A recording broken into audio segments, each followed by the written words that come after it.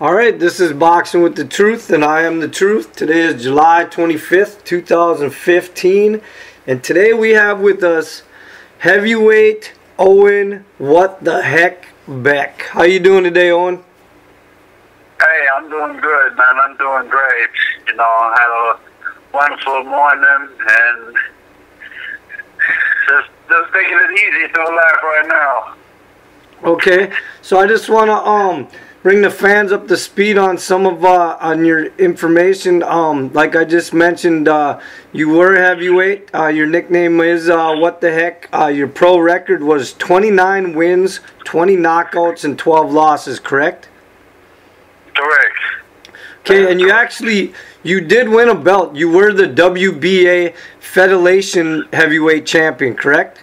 Yeah, that is correct. But yes, you sir. but you also did fight for the WBA World Heavyweight title, the WBC United States uh, US NBC title, the WBC uh, Latino Heavyweight title, and the WBC uh, FECOM Box Heavyweight title, right? yes, sir. I did. So you definitely uh, had a full career. I mean, you fought for a lot of titles. I certainly did, man. I certainly did. Um, I wish if I had won them all, but But there, you know, there's fall short. but there's a lot of guys that, that never even got to the point that, that you that you got to in your career. There's a lot of guys that never even get a chance to fight for a title. Hey, you know, I was just one of the, the fortunate one, one of the best ones who really got to that, got that far to to that, that accomplishment. So, know, that, that that's great. That, that's that's a good achievement. You know, And I mean, that. yeah, and I mean, you fought some quality fighters. I mean, you fought Monte Barrett, you fought Ray Austin, uh, you fought Nikolai uh, Valuev, uh, Tony Thompson, um, Alex uh, Leopold. Or uh, Leopold, you Yeah. fought Cedric uh, Boswell, David Rodriguez. You fought Deontay Wilder, who is actually the world champion, heavyweight champion right now, and uh, Oleg Maskaev. So I mean, you fought, you, you definitely fought some tough fighters. Yeah, I fought some good fighters. I've had some tough guys. Some guys who was well worthy of being world champions and everything. So, hey, you know, what can I say at the end of the day? Um, you know, some of it, like I, you know, I said I've come short, you know, a few times, but um, some of those things happen on my terms with, you know, if I take it to, if I listen to point to where, you know, I should have taken it, then I know I would have been world champion today. Okay, so I want to back up a little bit in your career. Um, your amateur record actually was 73 wins with five losses, right? Well, actually, it's more, but there's only 73 in my book. I actually have 105. Oh, okay. So now you Oh, you started uh, boxing at 10 only- I'm, only- I'm 10 years old. at 10 years old. Yes, sir. Okay, now you're originally from Jamaica. So did you start boxing in Jamaica, or did you start boxing when you moved over here? No, I started boxing in Jamaica, Negril, Jamaica. Okay, and, and what made you move over here? Well, actually, I I had moved to England when um when I was getting ready before I turned pro. I got approached by the British, you know, and I ended up going there first, and you know, pretty much I really wanted to come to the states because most of the guys that I really grew up with and grew up around was living here in the United States, so. I ended up came here instead of, so I ended up leaving and, and moved to the States. And so, how did you get involved in the sport of boxing, Owen? It was, it was my dream, and, you know, there was a gym, it was a gym, and I used to go by the gym every day, pass by there, going to school back and forth, and, um, just always see the guys running and always see them working out, you know, doing stuff, you know, for boxing and, you know, even been to a couple of matches while there was matches in the grill where I'm from. And I just happened to just walk in there one day and said I wanted to box. It was something I dreamed about, and you know, I, I know I can make it to being champion, and I did. So let me ask you something. I know I know you say that you didn't win the, the world title, but when you look back overall your your whole career, are you satisfied with your pro career? No, I'm not. I'm not. I'm absolutely not satisfied. This is why I am still going at it. Even though I have my own gym here and I've got at least 25 kids that I train, you know, the amateurs right now, I am not, I'm not satisfied because I know that I can still go back out and, and, and capture the, the, the heavyweight title. Oh, so you're actually still training on to, to fight again? I am training to fight again. I never stop training. I never stop training. I live in the gym. Okay, now are you down in Tennessee right now? Where are you? I'm in Kentucky right now. Um, you know, I'm right on the border of Tennessee, Virginia, and Kentucky.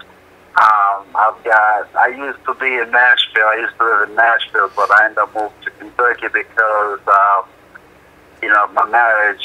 Well, I'm divorced now, but you know, for my marriage and you know my son. So you know, I play a big part in my son's life now. He's seven years old. The eight next month. Play a big part in his life and what he's doing now, his career as a football player and a basketball player. So, have you uh, seen that you're training? Have, have you heard had any talks with anybody? Are you lining up a fight soon? Well, um, I've been, you know, I've been, I've been on the the net.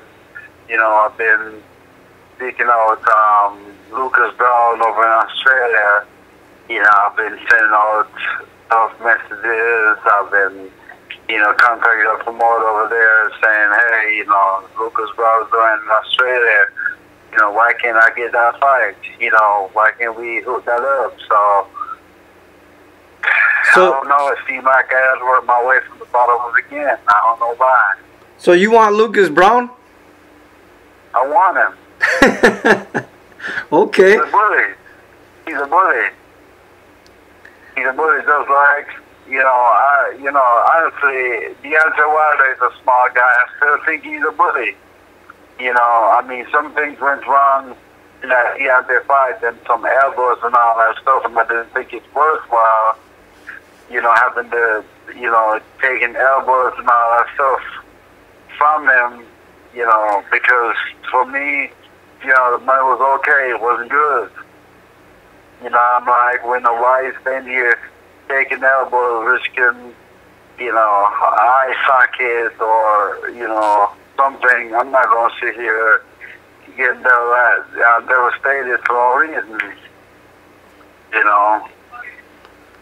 So I decided to just, you know, you know, call the fight. So, in your opinion, then, what type of fighter is Deontay Wilder? Hmm. I think he's overrated fighter. I think he's overrated fighter. I don't think, you know, I don't think he's uh, he has really met somebody that really gonna box him or he's gonna stand toe to toe with somebody that really can do it. Now, on the other hand, I can do both. You know, because one of the things is, I never believe in backing down from nothing, backing down from a challenge, backing down from a punch. I say, if you catch me, I go down, so be it. You know, hey, it happens. Um, like I say, you know, it's one of two things. You can be champion or you can be chump. You know, my choice is to become champ and to prove that I'm a champ. You know, I stay chump, do stuff on the street. Champions stand up like a man in the ring and they go at it. You know, that's what champions do. Show love, show respect, respect the fans, respect the people who support you. You know, um, the chums, the chums, they go on the street and bark a bag of trash and, and do all the things that happen outside. You know, but we can stay in there and, and we can go, we can go in there and throw lightning and thunder. I've always been that guy. You know, always explosive, lightning and thunder. So, so let me ask you something. Out of all the heavyweights, why do you want Lucas Browne? Because he's a bully? Well, I'm not saying he's a bully. You know, I've got I've got a lot more respect for Lucas Browne than I would have for Wilder right now. You know, um, but the thing is, you know, he is he is the man over in Australia right now. He's the man, you know, down under. You know, and I just think, you know, I've been down, I've been there, and I've, I've got back on Leapai but I don't know what happened since that Crystal fight because I haven't heard nothing back from him since that fight. You know, because you know he was he was getting beat until they gave him the win. You know, and and I've I've been in I've been in certain you know matches like those. Um, Manuel Charr again was the same thing in Germany. He was getting his tail handed to him too until they stopped in the 10 round, maybe 15 minutes, 15 seconds before the fight ended and gave him a win. You know, so guys like those, I never give no respect to.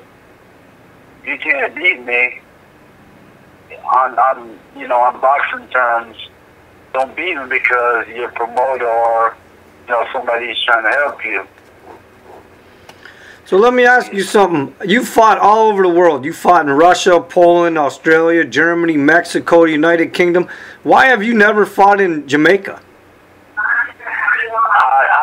I, been trying to line up something for Jamaica. I've been trying to take something home myself because we never get anything lined up in, in Jamaica. So I am doing something on, on my end to see if I could do that. Um, a friend of mine who I played basketball with, somebody who had loved my career, he just died. Clive Pringle, um, you know, Cuba, you know, that own MX3 lawn. You know, we were lining up something, but he died um, less than a, a little over a month ago from cancer. You know, and I still believe to my heart to really take something back there and just saying, hey, this is also a tribute to, to Cuba because that man's been there in my career my whole life. He's behind everything that I've done so far. So, you know, I really, I really want to go back home and really do something over there. So there's no time frame though on when you're going to be back in the ring, though. Well, I was hoping I'll be back in the ring by August, but I don't think so. So, you know, I'm still doing what I do, you know, still you know, keeping staying safe. So if anything falls in place, you know, I am there for it. So let me ask you something. I uh, I dug something up, and, and I and I want to know exactly what what happened here. If you don't mind talking about it. At 16, you were accidentally shot, right? Yes, sir. So what happened with that? Did would that did that possibly almost end your life, or was it just a graze, or? How? You know, it it actually that was a life ender. That was a life ender for me right there. It was a life ender. Um, what happened was, I think I I, I forgot what games it was that I came back from with a gold medal. And we had a party, celebration, all that stuff was going on. And it ended up that that Sunday night, for some reason, me and my best friend actually dropped some people off at church, and I ended up went in. We went together, and the the preacher said, "I can see danger in these young man's face," and he called us up to the front of the church. You know what I mean, and put his hands on us. You know what I mean, pray for us and all that stuff. And we ended up ended up spending the whole hour and something in church. Um, however, um, after we left, you know, we was still in that little mood, wants to celebrate because here it is, you know, I won um, a gold medal that, you know, uh, I think it was the Caribbean Games. I just got back from the CSC Games and then went to the Caribbean Games and won, the, won a gold medal. And um, so we was just we was just celebrating and having a good time. And some reason I started messing with a security guy, just just playing around, just kidding around. And you know, we always do that because you know he was a good friend of mine at the time, and we were just there playing around until you know he pulled a gun, and before he couldn't even pull the gun out of his jacket, the gun went off, and I accidentally got shot. Um, we ended up jumping the cab and went to the hospital, and I died three times. But I died that night and came back,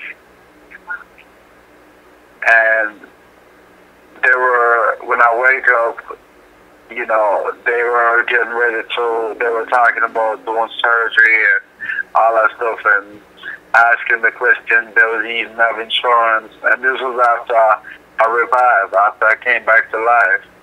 And then they were like, you know, does you have, you know, the money to pay right now? If you don't have the money, you know, we can't do nothing. Then it ended up that, you know, because I was there saying, hey, I'll promise you guys you'll get your money, you know I mean? I got to make payments every time I'll go get a job and all that stuff. I'll make sure you guys get paid.